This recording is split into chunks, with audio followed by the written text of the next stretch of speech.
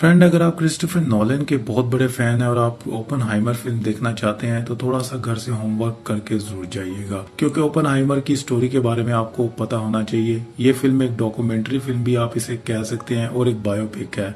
Open हाइमर की story को हमें बताया जाएगा, जहाँ पर ओपन हाइमर को ऑटोमिक बॉम्ब का फादर भी कहा जाता है। तो यहाँ पर ओपन हाइमर की पहले आपको स्टोरी पता होने चाहिए, फिर आपको फ़िल्म देखने का ज़्यादा मज़ा आएगा। अगर आप बायो केमिस्ट्री और फिजिक्स के चैप्टर्स को बिल्कुल भी इंटरेस्ट नहीं करते हैं तो आपको ये फ़िल्म नहीं देखनी चाहिए। ये फ़िल्म आपके ऊपर से गुजरने वाली है।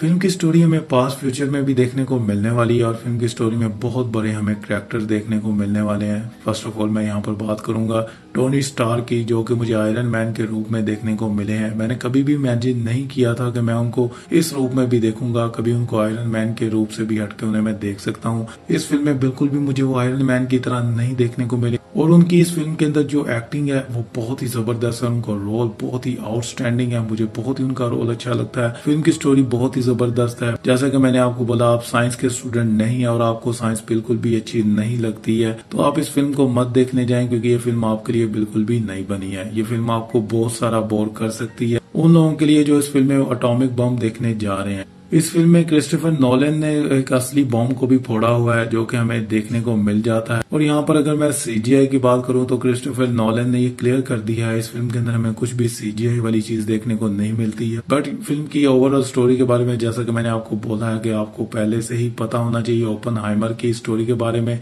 सो फ्रेंड अगर आपको वीडियो अच्छी लगी है तो लाइक करें शेयर करें, और मेरे चैनल को आप सब्सक्राइब बिल्कुल भी नहीं करते हैं। चैनल को सब्सक्राइब कर लें और बेलाइकन के बटन को प्रेस कर लें। मिलता हूँ आपसे नेक्स्ट वीडियो में अपना ख्याल रखिएगा।